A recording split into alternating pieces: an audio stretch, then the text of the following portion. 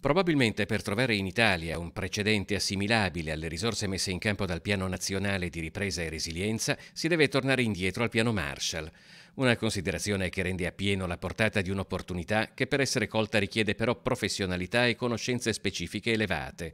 Per questo a Mestre l'Ordine degli Ingegneri di Venezia ha avviato un progetto per ora unico nel panorama del Nord-Est. Formare e formare i professionisti affinché quello che solitamente non riusciamo a fare, cioè realizzare le opere in tempi molto brevi, finalmente si riesca a fare. Ingegneri, architetti, geometri, ma anche altri avvocati, eh, commercialisti, consulenti del lavoro, riguarda tutto il mondo delle professioni. Le figure coinvolte sono molteplici, poiché viene affrontata la complessità delle opere a 360 gradi, anche di quelle complementari che si andranno a realizzare nei territori. La Regione ha steso i primi obiettivi e le azioni principali su cui dovrà investire e tutto questo diciamo, eh, supplemento, surplus di finanziamenti che impatti sul miglioramento dei servizi della condizione sociale dei cittadini veneti. La platea potenziale di professionisti interessati è di oltre 100.000 iscritti agli albi professionali del Veneto, ai quali si può assicurare piena conoscenza dell'evolversi delle procedure di realizzazione del PNRR